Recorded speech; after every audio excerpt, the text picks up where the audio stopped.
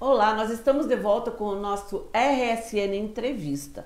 E eu recebo na tarde de hoje, dessa sexta-feira. Gente, eu tava com minha cabeça, não sei onde, porque hoje tudo que eu escrevi eu dizia que era quinta, mas já é sexta, né? porque fim de ano as coisas ficam muito atribuladas, né? Bom, nessa sexta-feira, então, eu recebo o, é a primeira vez que ele vem aqui nos nossos estúdios e que ele vem no nosso portal conversar com a gente, né? Mas ele é o deputado estadual Tadeu Venere, que ele é líder da bancada do Partido dos Trabalhadores, ou seja, do PT, na Assembleia Legislativa do Estado e também é presidente da Comissão de Direitos Humanos da Alep. E o assunto que o traz a Guarapava desde ontem, né, deputado, Exato. é justamente ligado aos direitos humanos. Mas inicialmente, boa tarde, seja bem-vindo, fique à vontade, está em Obrigado, casa. Obrigado, Cris, boa tarde, boa tarde a você, a todos os, os seus ouvintes espectadores, seguidores, né? seguidores essas coisas mais modernas, poucos, essas coisas modernas agora que os filhos e os netos da gente sabem de cor e salteado, a gente Sabe. apanha pra caramba. Mas a muito legal. Que a gente é meio jurássico, né? É, não, nós somos, né, cara? Eu sou da idade. Do século passado. Eu sou, do, eu sou da Remington, então aquela se batia e tirava. Aliás, comecei com a Remington no Banco Itaú, em Curitiba, e depois aqui em Palmas, né? Meus avós são de Palmas, trabalhavam no Banco do Brasil aqui. E às vezes eu brinco com os meninos, né, que eu comecei a trabalhar no Banco do Brasil antes que eles tivessem nascido. Então, Mas é, não, eu, eu tenho um neto de 8 anos que ele esses dias ele olhou para mim e falou: Ih, vovinha, você é do século passado. E literalmente nós somos, né? Bom, deputado, que o traz agora Pava uma agenda de dois dias, né? Bem. Não só agora Pava, o senhor também foi até a opinião, né? É, na verdade, né, Cris, nós viemos a partir de uma, uma situação muito específica. Nós, há algum tempo atrás, nós fizemos uma audiência pública sobre regularização fundiária.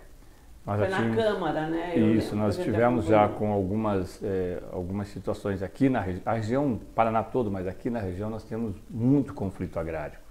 E muitos conflitos é, que já são, assim, quase centenários. É, é, é uma região, Guarapava é uma região bastante é, povoada já há bastante, há bastante tempo, e os conflitos também existem há bastante tempo. E nós estabelecemos em comum acordo com o Tribunal de Justiça, o Dr. Fernando Prazeres, e o Ministério Público, também a Defensoria Pública, que aliás está aqui tanto o Dr. Fernando como o desembargador Fernando, como o próprio é, defensor público, que aliás já foi defensor público aqui, é? É, o João Vitor já esteve aqui como defensor público, e viemos, fizemos um grupo de trabalho e viemos aqui para acompanhar três, pelo menos três situações, acabamos tendo mais uma, mas três situações muito específicas, embora interligadas. É, a regularização fundiária de algumas áreas aqui no 5 de maio, que é uma, uma ocupação relativamente recente. Uh, aqui também na, naquele encontro das águas, né, que já é, tem algum tempo, divisa, divisa entre, entre, o Pinhão e Guarapuava, é, onde tem os dois rios, rios, né, os dois né? rios se encontram ali. E aí ontem à noite ainda estivemos lá ao lado da, da Copel, ao, ao lado do aeroporto aqui do, da usina. Tem cerca de 20 famílias que a Copel pediu reintegração, mas estão lá há 40 anos já. E agora à tarde, na parte da manhã, nós tivemos no, no Alecrim, que foi um processo que eu acompanhei desde o início. Que né? foi no município de Pinhão. É no município de Pinhão. É, e né? foi aquela história daquela, que eu disse assim, aquela tragédia, não só para o município do Pinhão, para Guarapuava, para toda a região, mas uma tragédia do ponto de vista de nós fazermos uma reflexão sobre quais são os papéis que têm, de fato, as instituições. Porque ali foi um, um acúmulo de, eh, de erros, e alguns propositais, talvez, mas que geraram todo aquele processo de destruição da igreja, sim, destruição igreja da saúde, da escola, né, com dezenas de pessoas que perderam tudo sem que tivessem sido notificadas, porque foram notificados dez anos antes, e aí o juiz da comarca aqui do Pinhão entendeu que deveria, dez anos depois, deveria ser feita, executada né, a ação.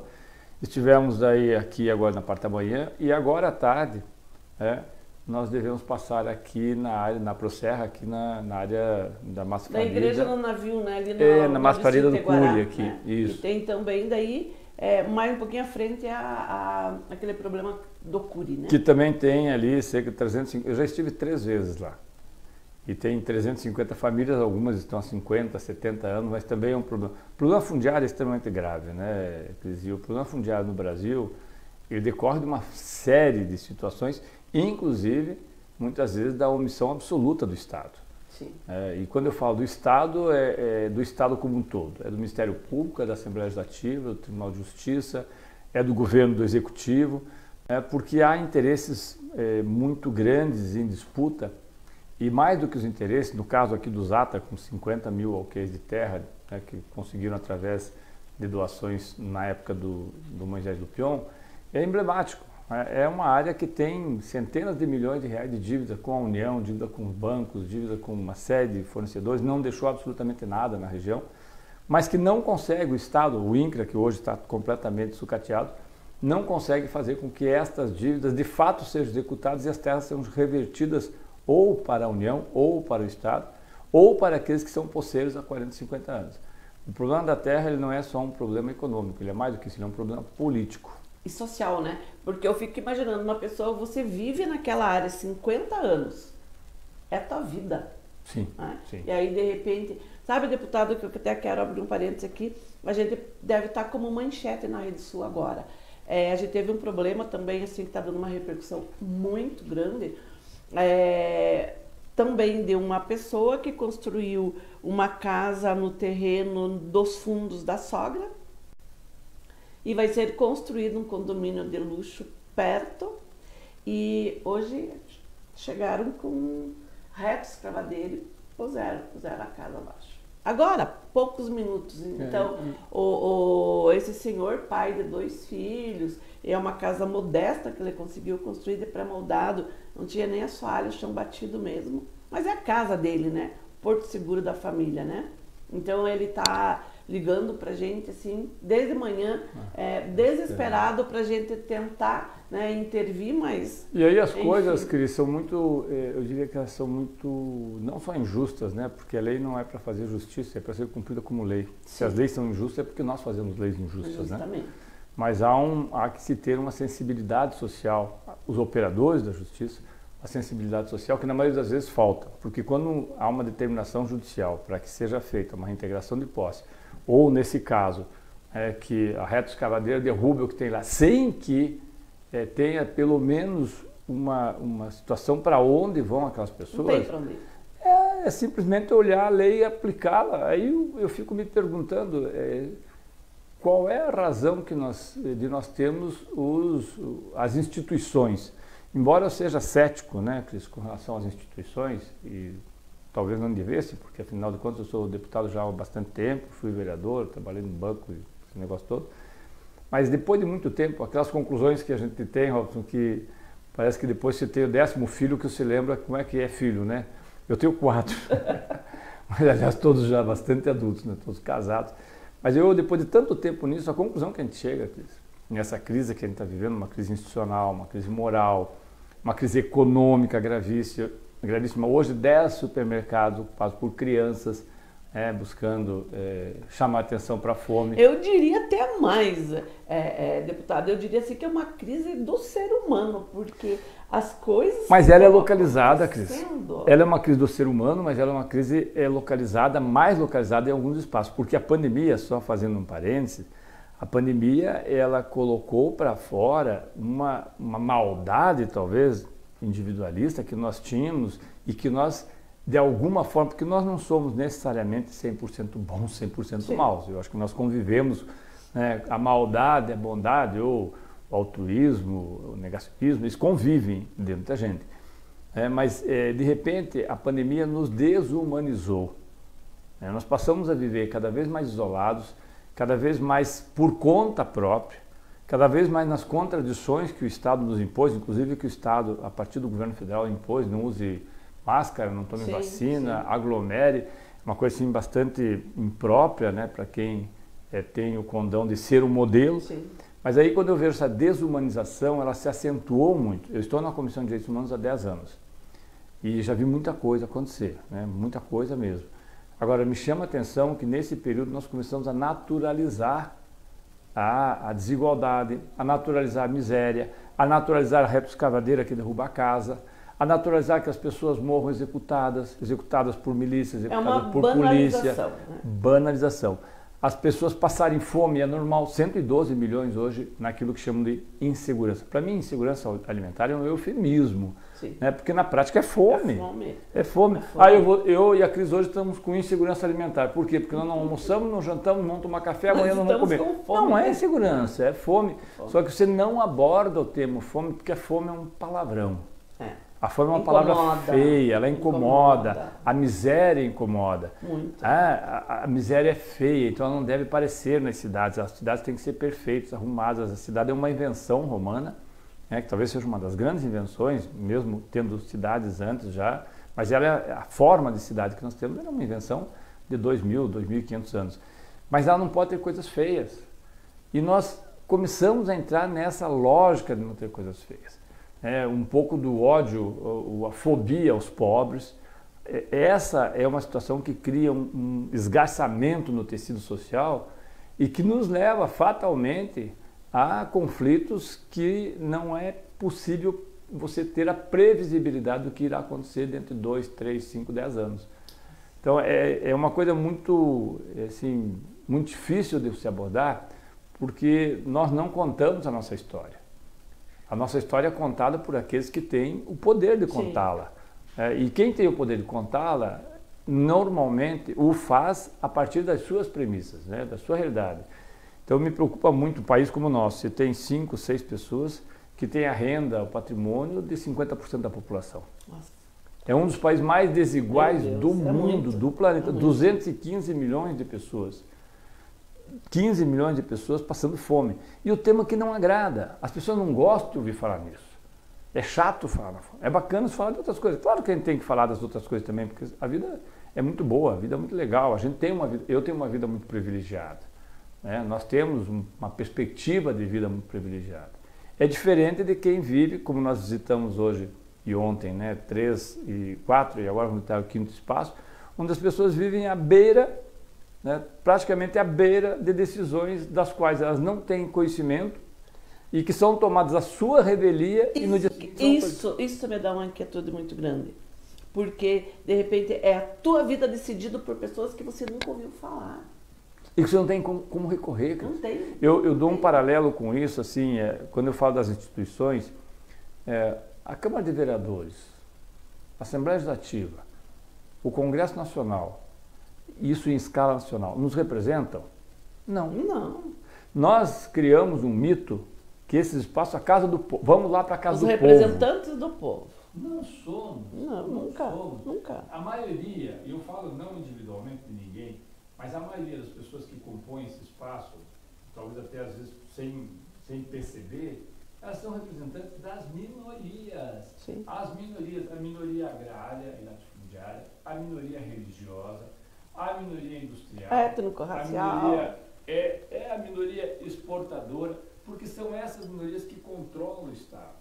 Eu sempre comento, Cris, que o Estado do Paraná, por exemplo, quando o governador Carlos Massa foi eleito, a primeira medida tomada, antes mesmo de tomar posse, foi uma emenda ao orçamento de 2019. E essa emenda ao orçamento, ela previa que o Estado passasse a fazer de 111 milhões, que nós tínhamos no governo Richa e depois Cidadão Guedes, de isenção, renúncia fiscal, passasse para 11 uhum. bilhões uhum. de reais. Eu lembro. Então são 11 bilhões em 2019, 11 bilhões em 2020, neste ano serão 12 bilhões e no ano que vem 17 bilhões. Que o Estado está abrindo mão de receber impostos. Opa, mas então a crise não vai mais pagar imposto? Não. Não, não sou eu. São impostos que são dos grandes grupos empresariais que de fato controlam o Estado. Que eu sempre falo que o Estado do Paraná hoje, não só pelo vice-governador, vice eu tenho o maior respeito por ele, como aliás pelo governador também, não seria diferente, ainda que não concorde. Mas este, que é o G7, que é o grupo das Sim, o grupo das sete. Uhum. né, cooperativas e, e, associações comerciais, ele fez o programa de governo, entregou ao governador, e o governador executa. Então, governo é uma opção. Por isso que eu digo, nós não representamos a maioria da população. Mas nós acreditamos que representamos e trabalhamos nisso. E aí quando você vê projetos, como nós conversamos um pouco aqui, que chegam na Assembleia, como foi a LGU agora, a Lei Geral das Universidades, que, a meu ver, prejudica profundamente a pesquisa, porque a universidade tem um tripé, né? A universidade deveria ser a privada também, mas Sim. a pública tem um tripé, porque as universidades privadas não fazem pesquisa, sua maioria, né? Que é justamente você ter a, a parte de pesquisa, né? pesquisa que é uma coisa que demora, é cara, nem sempre dá resultado. A extensão, que é para onde as universidades têm, têm o papel de, e a docência. Só que a docência, nesse caso, você só terá TID, que é a gratificação, se você tiver 20 horas em sala. Olha, quem faz pesquisa tendo 20 horas em sala? Então nós estamos diminuindo a pesquisa e vamos começar a fazer pesquisa sobre encomenda, vacina sobre encomenda, pesquisa sobre água sobre encomenda, essas coisas que podem ser úteis, mas para um setor da população. E é claro que quando a gente vota uma coisa dessa, a gente vota a partir de concepções que cada um tem.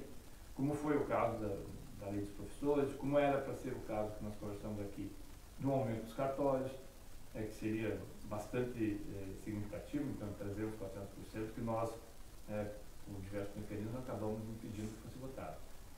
O que me parece é que a população hoje só teria condições de participar da vida política se nós, é, de fato, tivéssemos a Constituição sendo cumprida, naquilo que ela estabelece nos seus primeiros artigos. É, na, na teoria ela é cidadã, né? Agora, na prática. Mas veja, a, a Constituição, nos seus primeiros artigos, ela diz: todo o poder humano do povo em seu nome será exercido de duas formas: diretamente, através do plebiscito referido em consulta popular, e indireto pelos seus representantes. Nós só temos o indireto. O direto nós não temos. Então, você tem um pedágio que vai ser para 35 anos, provavelmente com apenas duas concessionárias, e você não faz um plebiscito para a população dizer se ela quer ou não quer. Fica por isso mesmo. E aí, claro que as pessoas desacreditam na política. Né? Desacreditam porque elas veem nichos de privilégios. Sim. Então, quando a gente vem para cá, como nós fizemos agora, minimamente nós tentamos dar uma resposta né, àqueles, não aqueles que nos elegeram, porque você não é deputado de uma cidade, eu não sou deputado de uma região. Eu sou pago por você, né, eu sou pago por todas as pessoas que contribuem com o imposto do Estado. Todos nós que prestamos serviço público, de alguma forma, nós somos 100% pagos pelo contribuinte. Não há outra forma de, de ser pago que não seja pelo contribuinte. Então, nesse sentido é que eu acho que é preciso que a gente venha, traga. É a primeira vez que o desembargador vem para ver áreas ocupadas. Na história. Na história. E claro, eu espero que a gente saia daqui com algumas possibilidades reais de resolução de conflitos. Diminuamos essa tensão presente que ela está permanentemente, né? é, assolando as pessoas, que hoje nós vivemos uma situação que, que ela é muito contraditória e que, uma vez falamos disso já, né? que nós vamos chegar a ter um tempo em que as pessoas não, é, não vão dormir, né? É, e nós vamos ter uma situação onde alguns não, não comem porque não têm o que comer, e os outros não dormem porque têm medo dos que não comem. Nós não precisamos chegar a isso. Mas se nós não tivermos um mecanismo que diminua as nossas desigualdades, nós vamos fatalmente ter problemas no futuro. Pois é, é, fazendo assim uma análise bem breve de tudo que o senhor está falando, como que o senhor se sente? Vindo, levantando todas as, essas questões, levantando todos esses problemas, vindo, percebendo, né, observando, e aí o senhor retorna para a Assembleia o senhor não se torna, se não, não, não se sente assim um tanto quanto frustrado? Ah, na maioria das vezes sim. Mas assim, nós somos absolutamente, muitas vezes, decorativos. É claro que alguém vai dizer, bom, se é decorativo, sai de lá. Não. Se é decorativo, mude. É, nós temos tentado mudar a situação. É, eu acredito sempre que é, o papel que eu tenho, é, não só como presidente da Comissão de Direitos Humanos, mas como deputado, acho que como cidadão, né, mas como deputado, é o de não me calar. É, eu acho que esse é o papel principal, não me calar. De não, não entregar as coisas como sendo definitivas. Há uma frase do Mao Yazzi que eu acho muito interessante quando ele diz que não é porque as coisas sempre foram assim que elas sempre serão assim. É, nós temos a obrigação de mudar essa, essa situação. E o Frei Beto, que é uma pessoa que eu respeito muito pelas histórias, né, todas as coisas. O Frei Beto tem uma frase assim muito muito objetiva e que eu acho que nós devíamos ensinar os meninos e as meninas, né, as, crianças, pelo menos, adolescentes, os meninos que mexem com essas milhões de tecnologias, que a gente não sabe nem como funciona. Aqui só me permite um parênteses. É tão doido isso. O Fredeto, primeiro o Fredeto, o Fredeto fala que política é que nem feijão na panela, só funciona na pressão. E essa molecada sabe fazer pressão pra caramba. Né, ocuparam escolas, vão pra rua, que é uma energia muito grande. E a gente é tão, eu sou tão atrasado nisso que quando começou as sessões, começaram as sessões a ser feitas de forma remota na Assembleia, foi uma tragédia para os professores. Sim. Porque eles não sabiam nem ligar aquele troço, nem como fazer. E aí tem um aluno que numa das salas, ele, a professora não conseguia entrar, não conseguia acompanhar, não conseguia fazer. Falou, professora, aperta o botão tal, aperta o botão tal, e foi apertando os meninos todos orientando a professora. De repente sumiu a tela. Eles tiraram a professora da sala. um troço doido. Eles tiraram a professora da sala. Muito incomodada, me ligou, desistindo da aula, que ela tava, não estava mais dormindo e tal. A professora, não fique triste, porque eu teve um dia que caiu o nosso. Eu, eu tinha um computador que eu não usava. Isso não é exemplo para ninguém. Sim. Né? Mas eu tinha um computador dos meus filhos, um HP, tal, pai, não te dá esse negócio. Mas eu não adianta, eu sei escrever, eu não sei aquela coisa assim. É um pecado, né? mas que nessa altura do campeonato, com mais passado do que futuro, que vier lucro. Né? Eu tenho mais passado que futuro, então o que vier nessa altura é o fim da pista do aeroporto já está chegando. É bom, não tenho pressa em decolar, mas eu sei que vai acontecer. Aí, cara, eu tô com o computador lá e tal, daí de repente deu uma pane. Eu não entendia nada daquele negócio. Ah, não, é que faltou ligar porque acabou a bateria. Liguei, acenderam as luzinhas todas embaixo, tá aí a sessão rolando e eu desesperado com o telefone, que também é outra coisa doida, que a filha da gente tem que comprar porque ele é o Pro, não sei o que, 40 câmeras, com mais o que, que liga pro Japão, liga pra tudo até. Aí, pô, eu faço aquele troço, não funciona, ligo pro meu filho. Cara, que os filhos e os netos né, o socorro, né? Cara, eu não sei o que eu faço, o troço aqui, caramba, e você vai se irritando, né? Porque a ignorância é uma coisa que irrita a gente, sim, né? Sim. E aí eu me irritando pra caramba, que perde o controle, eu falo, para, calma, calma, calma, cara. Faz o seguinte, aperta isso, aperta aquilo, aperta não sei o quê. Tá bom, apertei. Tem um botão lá do lado esquerdo, cortado no meio, aperta lá. Tá, apertei, daí abriu a tela, né? Falei, ô Marcelinho, o que, que eu fiz? Me ensine para eu saber o que, que eu fiz aqui. Acho que era a terceira sessão que eu estava participando. Ô pai, você ligou o computador. Simples assim. Porra, cara, então, então eu fico imaginando para pessoas que estão lá no Alecrim, que nunca viram um computador na frente, nunca viram um juiz, um desembargador, um oficial de justiça. O primeiro contato que eles têm com a justiça é a polícia tirando de lá. Como é que essas pessoas acreditam na instituição Estado, na justiça, no tribunal, no Ministério Público, no defensor, no deputado? Mas não vão acreditar mesmo. O primeiro contato que eles têm é o meu contato com esse computador. Sim. É assustador isso. E eu falo que não é uma exceção, isso é a regra. As periferias das cidades, inclusive eu devo voltar para cá em janeiro, nós temos uma agenda grande aqui até para fazer com um companheiro nosso, que você conhece bastante, que é o doutor Antenor, porque eu acho que nós não podemos nos omitir, Cris, de olhar para as periferias da, da sociedade. A periferia da sociedade, ela é ignorada por nós. Não é porque eu ponho uma gravata, terno, um sapato, que eu sou diferente do que eu fui. É, a roupa não faz o monge. O monge usa roupa. Uhum.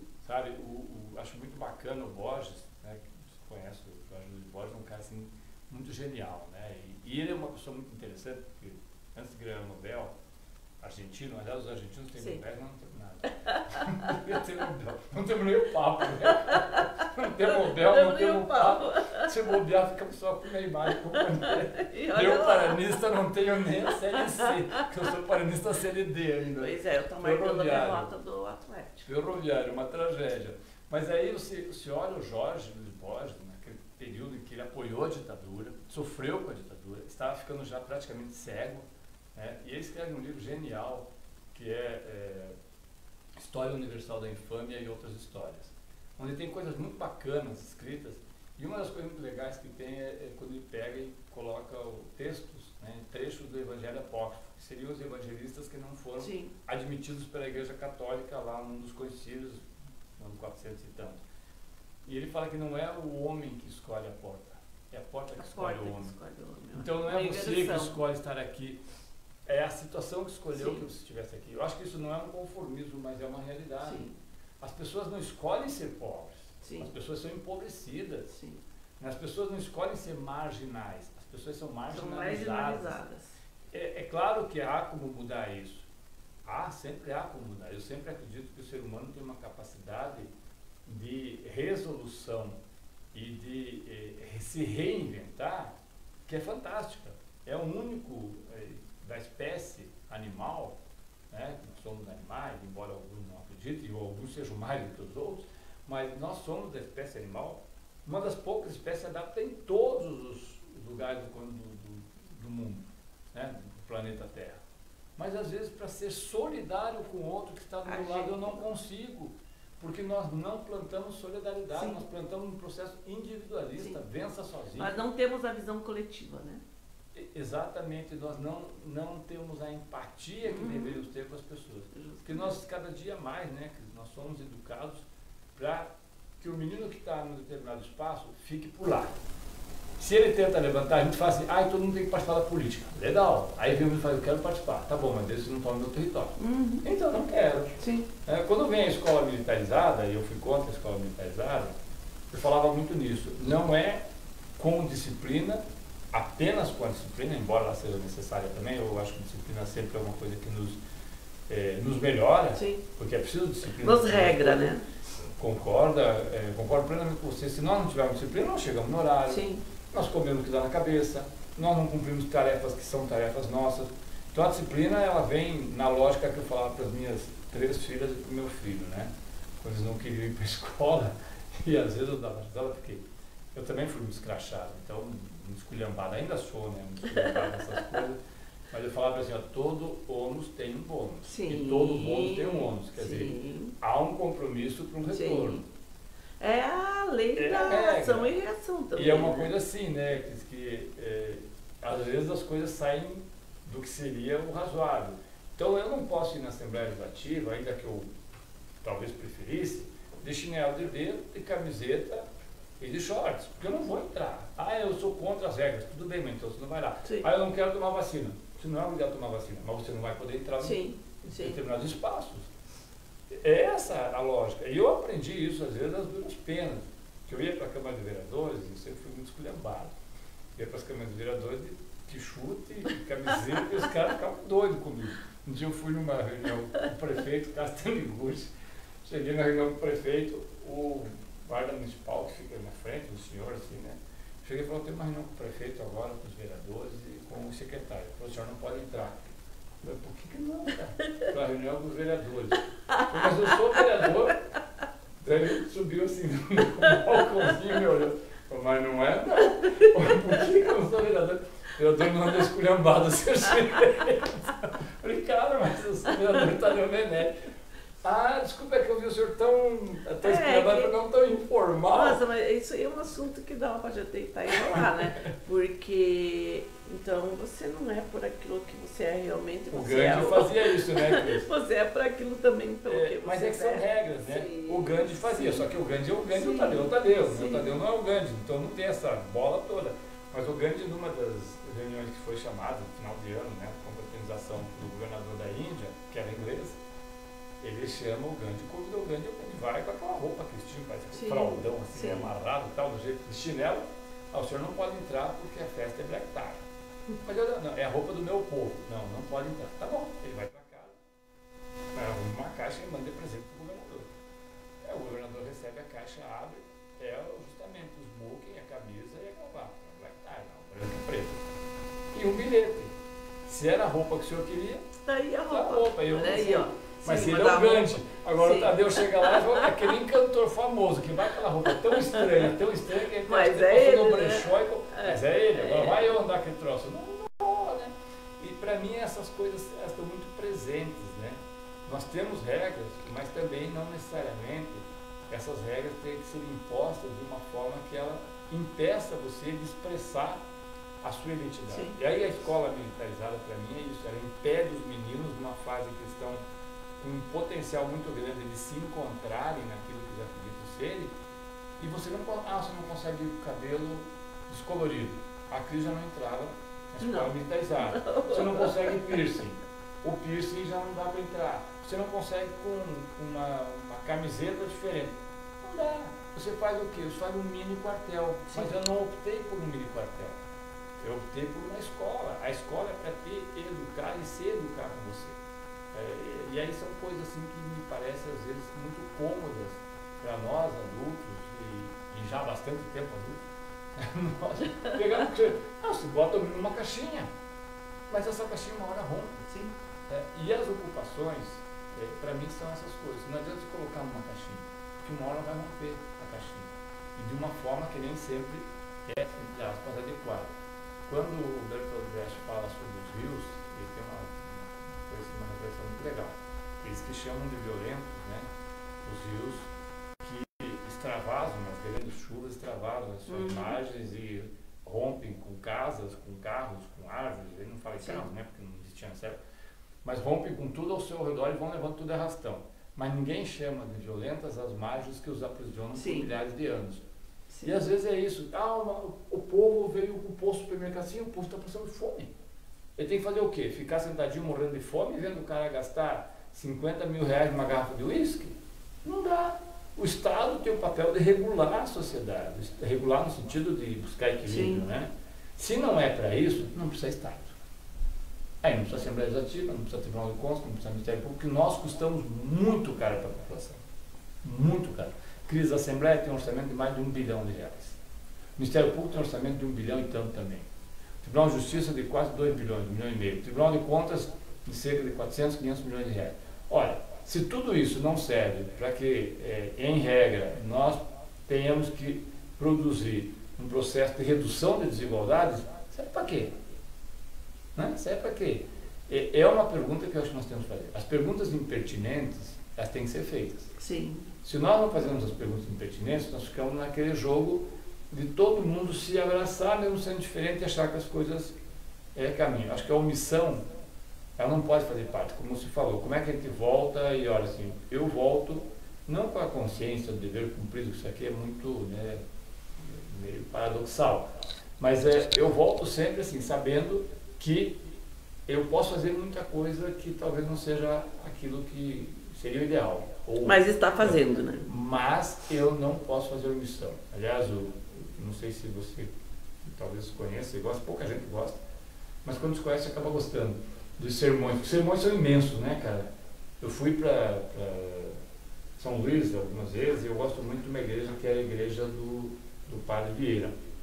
Que ele pregava naquela Sim. Igreja. E o Padre Vieira é um sarna, né? Porque é um cara de direito, um brasileiro que vai para Portugal, que depois a Inquisição quer passar o bicho, né? Passar na fogueira, então ele corre para todo canto, mas ele tem reflexões sobre a ocupação, as ocupações, principalmente as ocupações holandesas, que são muito, muito atuais quando ele diz assim, ó, nós estamos sempre, sempre sendo advertidos e nunca estamos preparados.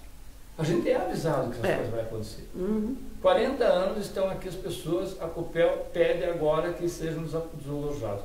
Meu Deus, nós sabemos que a hora que a Copel vender a usina, e ela vai vender, ou pelo menos 51% da sua participação aqui, segredo, aliás, uhum. é, perdão, em Foz de Areia, vai segredo também, alguma coisa vai acontecer. Por que você tem que limpar aquela área? Porque o comprador não quer pessoas que possam de alguma forma colocá-los em risco. É, essas coisas eh, me parecem serem assim, muito importantes para as nossas questões. Da mesma forma, né, essa mesma lógica quando a gente fala que você também tem dias que você sente assim, poxa, acabou de cair a casa do senhorzinho lá que não tem nem piso. Recorrem. Por que, que recorrem para você? Porque o seu portal é visto por milhares de pessoas seu portal chega a centenas de milhares de pessoas que este senhor não pode chegar. E a imprensa tem esse papel de denunciar, de divulgar. Não pode ser aquela imprensa cordata, que tudo diz amém, que ganha uma verba a mais, é verdade, ganha uma verba a mais por ser oficial, por ser chapa branca. Mas tem, deixa de ser imprensa. Né? Passa a ser uma extensão, nós não podemos ser a longa mão do governo. É, o, eu sempre falo na Assembleia, se eu vier aqui para ser o carimbador, eu fico em casa. Não tem sentido. E é nesse sentido que acho que a gente pensa um pouco, a mesma lógica do Padre Vieira, o Padre Vieira também tem uma coisa legal, diz assim, pelo que fizerem, alguns serão condenados. Pelo que deixarem de fazer, condenar-se-ão a todos. E ainda repete, né? A todos. A omissão é o único pecado que se faz não fazendo. Eu acho uma coisa muito genial, que ele joga com as palavras, mas assim, a omissão é o único pecado que se faz não, não fazendo. fazendo. Então, quando eu não faço, sendo omisso, né, eu estou cometendo um pecado, no, ao olhar da igreja, claro, mas um pecado por ser omisso. A Cris recebe uma denúncia aqui que estão derrubando a casa. Não, mas eu não vou falar nada. Eu recebo uma denúncia que estão cobrando 800% de custo, mas eu não vou falar nada. Aí o menino recebe que estão espancando o menino. Não, mas eu, não se trata de sair procurando isso, mas as coisas vêm para você, como o Borges diz, a porta se abre para você, não é você que abre. E é isso que me dá um pouco de, eh, eu não diria de alívio, porque não é esse o termo, né? me dá um pouco de conforto, sabe? De saber assim, nós, com todas as nossas limitações, que são imensas, imensas. Né? Deputado não é quase nada, é, primeiro que é um cargo, né? Sim. Tem uns malucos que acham que é uma pessoa, não, é um cargo. É, o deputado pode ser o que ele quiser, mas é só um cargo, limitado. Às vezes, repetido por várias vezes, mas é um cargo limitado. Não é mais do que isso. É só um cargo. presidente é um cargo. governador é um cargo. Nós temos que ter consciência disso. Nós somos só um cargo temporário. E o que nós fizermos né, pode ser que atinja por muitos anos pessoas que, como nos falou, que nunca nos viram. Aí a nossa obrigação é vir. Sim. É. E é isso que a gente está fazendo. Né? Eu espero que a gente possa fazer ainda muitas vezes para poder encontrar soluções. Porque os problemas já existem. é achar a solução, né? Bacana, deputado. Eu gostaria de conversar muito mais, muito mais mesmo, mas eu acho assim que tudo que foi falado aqui, quem nos assistiu e quem vai nos assistir ainda mais, né, eles devem ter isso como uma reflexão. É, gosto muito de pensar assim, o nosso papel é de criar é, expectativas positivas, principalmente para as novas gerações. Sim. O, ontem, ontem, né, só encerrando aqui, agradecendo a você, o espaço que você nos, nos dá. Ontem, ontem, quando hoje é sexta, né, também estou perdido. Quinta, terça-feira, quando nós votamos a EGU, ficou aquele climão, o PLC 12 dos professores, todo mundo muito incomodado, o pessoal sentindo derrotado. Poxa, é uma derrota? Sim. Óbvio que é uma derrota não entro no mérito do governador, porque não tem esse direito, mas você se sente assim meio impotente. Aí uma professora me ligou muito triste, que ficou com tudo aquilo, e eu é, até usei essa, essa tristeza dela, né, numa, na tribuna da Assembleia, numa poesia que eu acho muito bonita do Mário Benedetti. O Benedetti é um senhorzinho assim, de, morreu, né, mas é um senhorzinho de 500 anos, uruguaio, que também tem umas coisas que nós não temos, né, tem o o Pepe, que queria que tivesse o Pepe aqui. Eu tive a felicidade de almoçar uma vez com o Pepe, né? Eu falei, poxa, eu queria ter um Pepe aqui no Brasil, né? Porque ele com seus 90 anos, seu Fusca, e vai lá, o cara dá uma entrevista para a Rede Globo de 15 minutos, meia hora, e fala, agora chega, você já sabe o que é isso, eu vou embora que eu tenho coisa para fazer. Nós não fazemos isso. Mas o, o Benedetti tem uma poesia muito linda, né? Que se os meninos e as meninas, as pessoas que nos assistem tiverem a oportunidade, procura, que é o no rindas, né? não se entregue, não se renda. Acho que essa é a mensagem que Não se entregue, não se renda. Ainda há esperança, ainda há, ainda há fogo em você para queimar, ainda há luz nesse processo.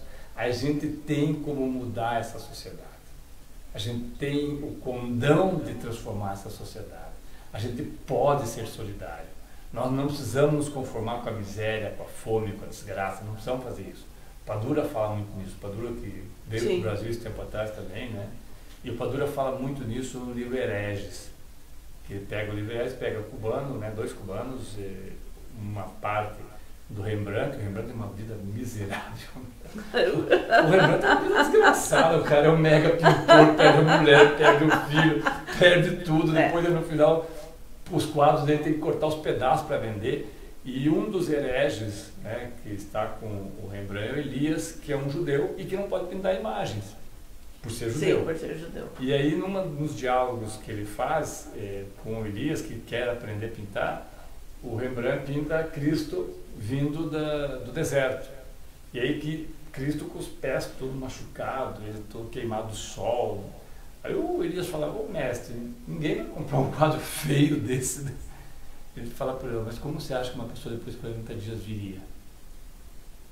E fala, a, a miséria, a miséria, a pobreza, a tristeza, elas não são necessariamente bonitas, mas são humanas. Eu acho que a gente fazer o papel que a gente faz não é necessariamente bom, mas é humano. Mas é humano. E é isso que a gente tem que fazer, ter humanidade. Perto do Natal, temos ser. É que eu, eu ia também. observar justamente isso. A gente está praticamente às vésperas do Natal, então, mais do que nunca, que essas últimas sua fala e também as outras, né, que antecederam a essa, sirvam como reflexão para que a gente entre em 2022 ou entre amanhã já ou no próximo segundo sendo um pouquinho melhor, né? Então tá, obrigada. Foi um imenso prazer conversar. E sabe agora para mexer no computador Volte aqui cada vez que vier a Guarapuava, né? É a primeira vez assim que a gente está conversando pessoalmente, mas eu virei fã. Obrigado. Obrigada a você que nos acompanhou até agora. A gente vai ficando por aqui. Vamos tomar o nosso cappuccino italiano feito pela Casa do Café, especialmente para os nossos Bom. convidados aqui do portal RSN. Continue ligado porque hoje o portal só tem matéria bombástica. Obrigada.